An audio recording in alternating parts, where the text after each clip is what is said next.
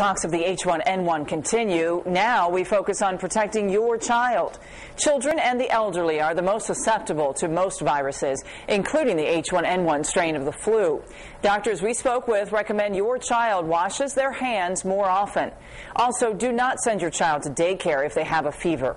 You can also purchase travel size hand sanitizers for your child to take to school and use. Taking these steps can help keep your child healthy. You got to show the kids that you're doing it too. Mom and dad have to wash their hands before they're eating. Um, and then, you know, really push it at home. And keeping your hands out of your face and your eyes is also a good thing too.